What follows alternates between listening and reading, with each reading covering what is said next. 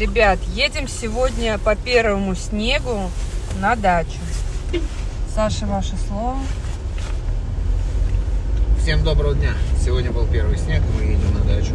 Мы хотим посмотреть, в каком состоянии там накрыло землю. И все-таки хотим сегодня прогуляться по лесу. По локации посмотрели, что оказывается у нас за а, СНТ, да?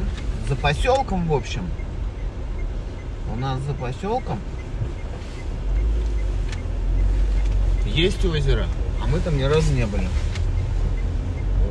Сейчас выезжаем с города железнодорожного, что-то выезд как-то не очень свободный. У нас это не останавливает. Ну и как всегда, как многие писали, что мы ни хера не делаем, мы едем жарить мясо. Потому что мы жарим, танцуем, рисуем, поем, сочиняем стихи, рас, раскрашиваем открытки,